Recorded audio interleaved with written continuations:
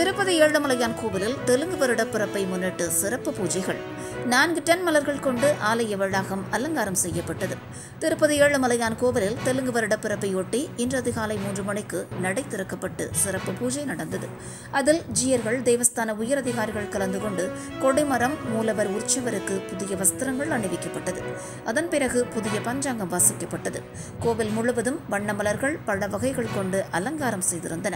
இதேபோல கோவில் கோபுர விமான விமானங்கள் மதில் சுவர்கள் பூக்கள் கொண்டு அலங்காரம் செய்யப்பட்டிருந்தன.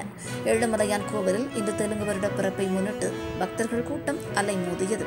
யுகாதி ஆஸ்தானத்தால் கோவிலில் இன்று காலை கல்யாண உற்சவம் ஊஞ்சல் சேவை ஆர்ஜித பிரம்மோற்சவம் ரத்து செய்யப்பட்டது குறிப்பிடத்தக்கது.